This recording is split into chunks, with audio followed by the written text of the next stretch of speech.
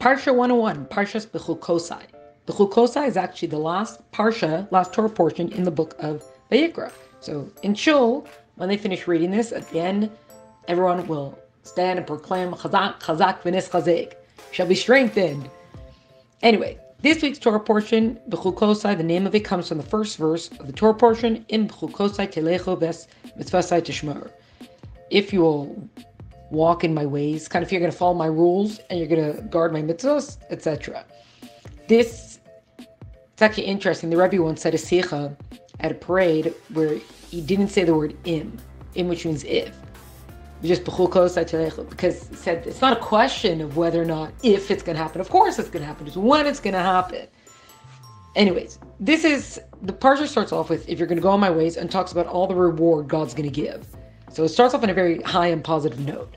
And it says, I'm going to give you rain in their times and in their season. And it's not just you're going to have rain when you need it, but it's going to be at a very uh, convenient time for you. So, for example, at nighttime, you know, no one's working their fields at nighttime, or specifically on a Friday night, and one's at home with their families.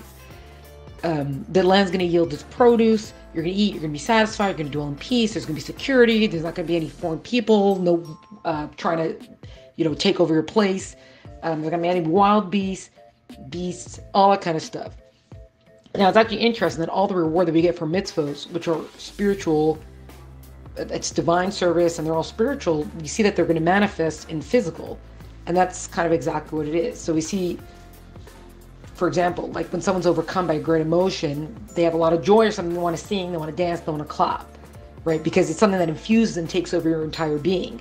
So this, of course, is what Torah, mitzvahs, Judaism, connection to God, service of God is supposed to be that something that takes over. It, we feel it so much, it takes over and infuses our entire being. It pervades everything that it's actually comes out in the body. It's not just something that's relegated to the mind or the heart. So the same way that in this regard it's going to become it's physical for us, so too the results of what we do will also have physical results, tangible results that we'll see in the physical world.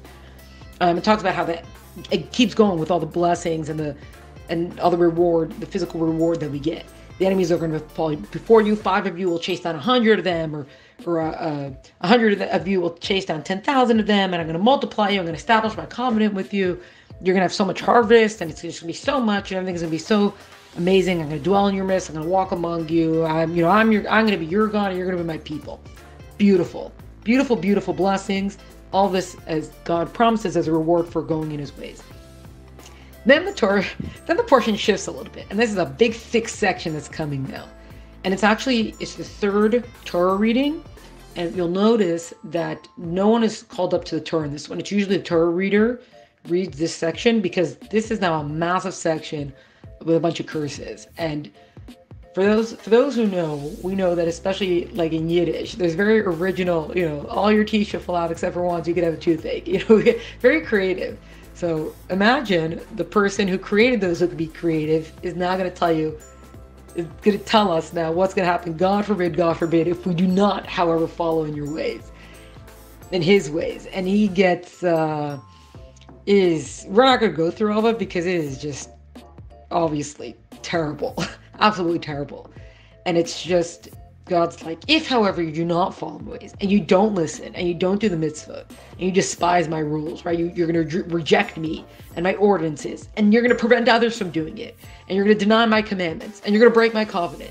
If you do those things, then, and it just goes, there's a lot, a lot, a lot of this is this and this is gonna happen. And also if you keep persisting, this and this is gonna happen. And this in a personal way, in a in a larger way God says I'm going to do the same to you. There's going to be this this disorientation going to be midst. There's going to be consumption and blisters and fevers that there's no hope of there's no hope of recovery from, and your soul's going to become depressed, and you're going to sow your seeds in vain, right? Your enemies either either it's not going to grow. If it does grow, the enemies are just going to come and eat it, right? Which is worse.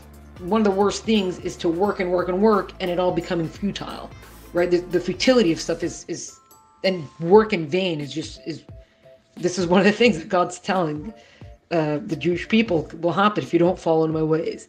Um, you're going to flee even though no one's chasing you. The enemies are going to rule over you. And it says like the skies are going to be like iron, right? Because iron doesn't sweat, as in it's not going to rain. It's going to be drought. The land's going to be like copper. Copper does sweat, But the land, if the land's like copper, it sweats. That means what's in the land is going to rot. Basically, really terrible stuff. The land's going to be desolate of inhabitants.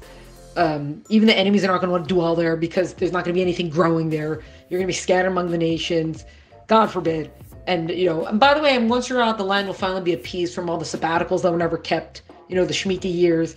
Um, there's going to be timidity in the hearts of those who remain. Not great stuff. Eventually, though, it does end with God saying, "I remember my covenant," you know, and basically, eventually, everything will be returned. But that's a nutshell, like a lot, a lot of verses of negative things. It actually just one side thing. It talks about um, like there's not going to be any satiety. That it's something with the bread, da da da. And the word for bread in Hebrew is chita. And the numerical value of chita, the chet and the tet and the hey, is 22. 22, there's 22 letters of the Hebrew alphabet. The alphabet has 22 letters. And what the alphabet makes up? It's the letters of the Torah. So it's it tries to it, it draws this parallel. It's a little bit of a Hasidic interpretation. It draws a parallel that the study of the Torah, it's got to be it's got to be baked like bread, as in something that we could digest, something that we could take in, right? Something that the soul can actually can, can take this in, and it's going to be burned in the fire. Like what's going to bake it? It's going to be baked in the fire of love of God. Um, that's what it's supposed to be. So we're not just talking about physical bread here, but in a spiritual sense, uh, Torah study is supposed to. We're supposed to be able to take it in, like bread, and then bake in the fire of love. Anyways, that is most of the parsha actually because this is a shorter Torah portion, that's most of the Torah portion.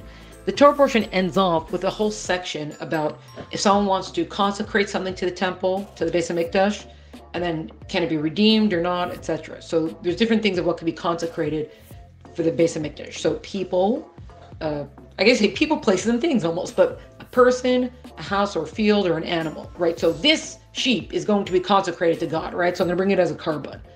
That's that's kind of what it what it means. So a person can vow like the endowment of a life to God, which the it's not person you don't actually sacrifice a person, God forbid. You bring the monetary value of the person to the Beis HaMikdash, which is the Mishkan. Right? This is I've endowed this person now to God. So it actually goes through the uh, the numerical breakdown of what each what the kind of life is worth. So for example, a male between the ages of 20 and 60 is it's 50 silver shekel, which is about 800 grams or 1.76 pounds is a silver. And then a female between the ages of 20 and 60 is 30 shekel. So that's 480 grams or 1.05 pounds. A male between the ages of 5 and 20, 20 silver shekel. So it's 320 grams, 11.2 ounces. Female between the ages of 5 and 20 is 10 shekel, 160 grams slash 5.6 ounces. This is the last time females spend less than men.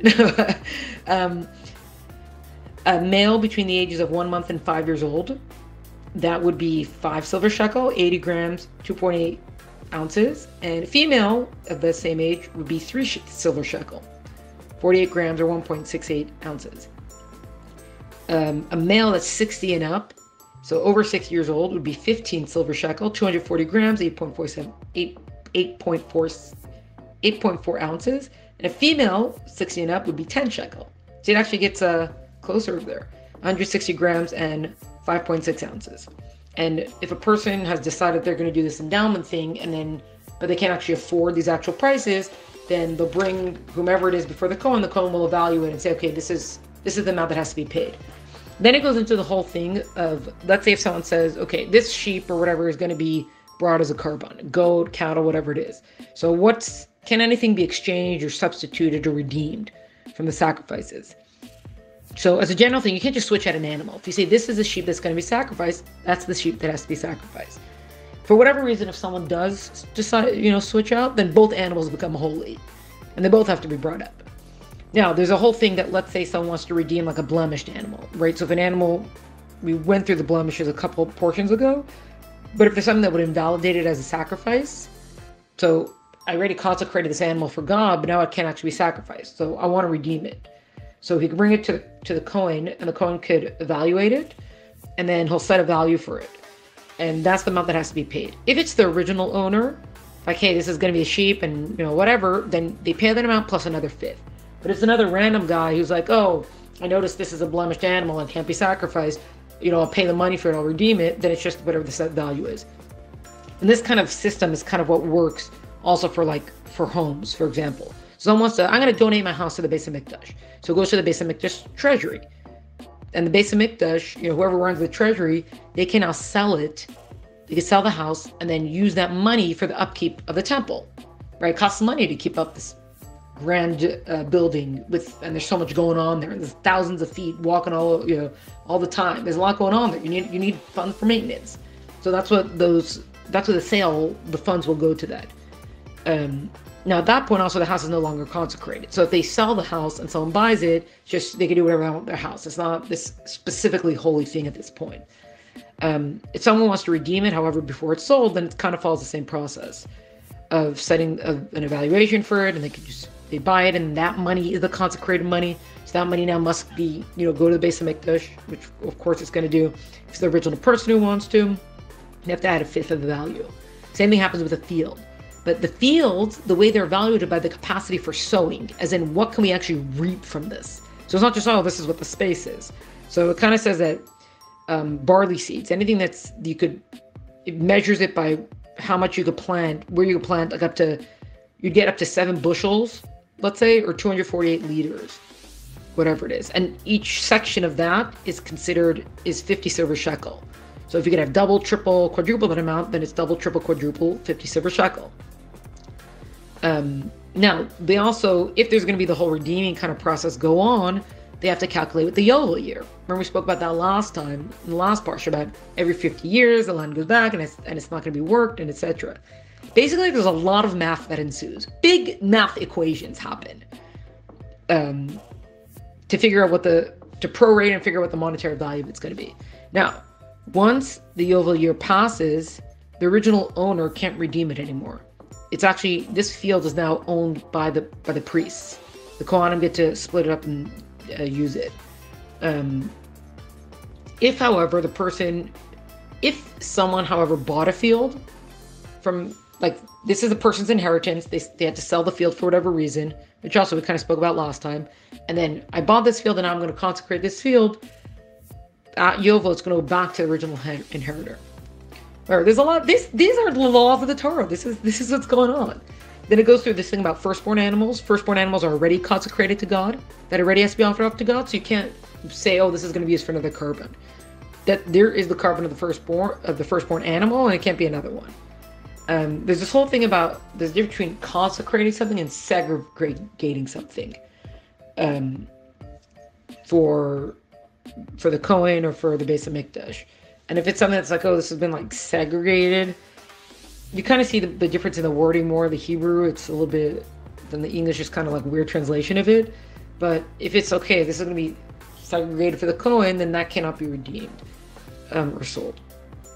Then Torah portion totally ends off with talking about there's going to be a, seven, a second tithing. There's like the main tithing that you have to do every year, but there's also certain years there's a second tithing, and that belongs to God. And from your produce, you have to consume it in, in Yerushalayim.